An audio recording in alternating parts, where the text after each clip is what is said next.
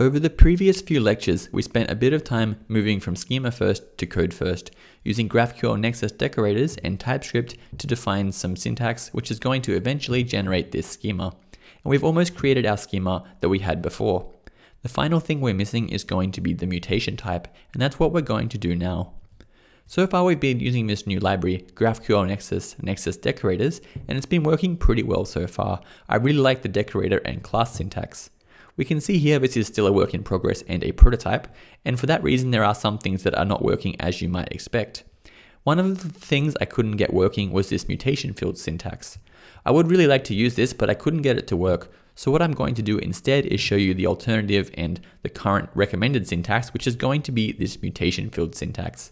Instead of using a class, it's going to use objects, and it works just fine. So I'm going to show you this. So let's go ahead and see how we can use this mutation field syntax to define our mutation. In the future, if I do get this one working, I'll probably make an update and show you how it works, but I think this one is just fine for now as well. So let's go ahead and get started. The first thing we're going to need to do is create a new file called mutation.ts, and this is where we're going to define our mutation. Let's go ahead and do that.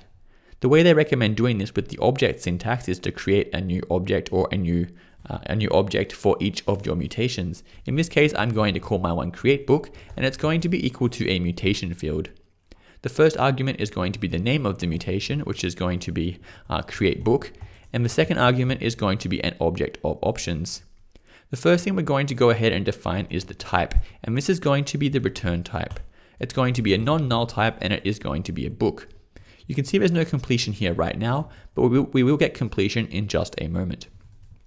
The next thing we're going to need to define is the arguments, and this is going to be the inputs to the mutation. In our case, we're just going to have one, which is going to be the book input, and it's going to be the title of the book.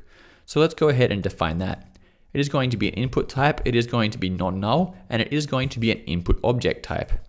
You can see this syntax is a little bit verbose, which is why I prefer the TypeScript, decorators, and class syntax, but this is going to work just fine for now. Anyway, now we've defined this, we need to pass a few options into here as well. The first one is going to be the name, and I'm going to call my one book input. It's exactly what we called it before. The second one is going to be the options that we need to uh, pass into this, and that's going to be under the definition, I believe, and it takes an argument of t. Inside of here, we're going to define all of the, the options for this input. We're only going to have one, which is going to be the title, so we just need to say t and then pass in a name, which is going to be the title. The final thing we're going to need here is our resolver, so we know what to actually do with this mutation. It's going to take three arguments. The first one we don't care about, the second one is going to be the arguments, and the third one is going to be the context. And you can see we're not getting any completion here. These are go both going to be any types, and I'm going to show you how to get completion right now. For example, we're expecting to return a book from this, a non-null book, and we're not getting an error right now, and we really should be. What we need to do is go ahead and generate our schema again. So the first thing we're going to do is export a new constant, and this is going to be an array called mutation, and it's going to contain all of our mutations. For now we only have one, so let's just go ahead and export the create book mutation. Let's head over to our schema file now, and we're going to import our mutation. Just go ahead and pass it in here. And finally, we're going to head back to our terminal and run yarn build schema. And it's going to create our new schema again. Now that that's been created, let's go ahead and check out our schema. If we scroll down here, you can see we are getting our mutation, so that is working correctly. If we now head back to our mutation file, you can see we still haven't got any completion. This is still an any type, and so is this one.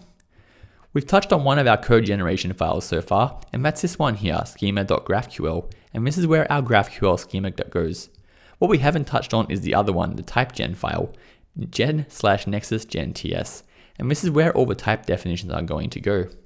So what we need to do is head over here and check out our generated file. You can see this has all of our type definitions here, and this is how GraphQL Nexus is going to do the inference for us. It's going to generate all of these types, and you can see now I've opened this file, we are getting the errors here. What I think was happening was VS Code was using the old version of this, and when I opened the new file, it reloaded the cache, and now it realizes we have types based on this input type, and now we're getting the correct types down here. You can see input has a title of a string, and context is going to be a context type. So the key here is to make sure you have your generated code open all the time, so you have the latest uh, return types on your, on your functions. Now that we have that, we can go ahead and continue with this. This is a lot of information. I'll talk more about the code gen later on, but just for now, let's uh, keep on going and get it working. What this needs to do is create a new book and pass it into our array of books. And we currently haven't actually got anywhere to store those books. If we head over to app, we can see here we're just returning an array of new books here. We need some way to update this array. There are a few different options here. What I'm going to do here is change where I'm storing the books. I'm going to head over to my context and actually store my books on the top level here, just to get something working. So we're going to have an array of books, which is going to be empty by default. The next thing we're going to do is go ahead and update our app. And what I'm going to do is pass in the context as the very first argument. If we head into app now and create a new constructor, we're going to have access to the context. And I'm just going to say private context is a context type. This is going to assign it to a class prototype or a class property so I can easily access the context. Finally, we'll jump down here and update this. Instead of returning a new array, we're going to return this .context.books, and that's going to give us access to all of our books. Now we're going to have to go ahead and update these, and that is going to be fairly easy. What I'd like to do is create a new book and pass it into my context. Just before we do that, we're going to update books as well. At the moment, we're hard coding both of these values, and I'd like these to be dynamic and we can change them. So we're going to create a constructor here, which is going to take two arguments. We're going to have a private ID of a string, and we're going to have a private ID or a private title, which is also going to be a string. And this is just going to let us pass those in when we create a new book. Finally, we're going to jump down here and return this.id, and for the second one, we're going to return this.title, and that's going to give us the correct ID and title. Finally, now we've done that, we can head back to our, our resolver and fix this one up. What we're going to do is first create a new book here. So I'm going to say const book is equal to a new book. We're going to pass in our arguments here. The second one's obviously going to be the title, so let's go ahead and pass that in, args.input.title. And the first one is going to be the ID, so we're going to have to figure out what that's going to be. We're going to use the same logic as before, which is just going to be this.context. Uh, let's go ahead and just say context.books. We are getting the correct completion there now and we're going to grab the current length and then we're just going to increase it by one and this is just going to become a string and that is going to be our new ID. Finally, we're going to say context.books.push and push in our new book. We're still getting an error here. That's because we're not returning a book and we should be returning a book. So let's go ahead and return our book. And we can see that is now working correctly. We have no typing errors here. And if we did everything correctly, we should actually be able to update our book state correctly. So let's go ahead and give this one a try. If I head back to my graphical interface, we can see we currently have no books because it looks like my server has completely crashed. I'm getting an error here. I'm just going to restart that one and hopefully it's going to work now. Yep, we're getting no books. And if we did everything correctly, we should be able to go ahead and create a new mutation. It's going to be a create book type. Let me just refresh that page.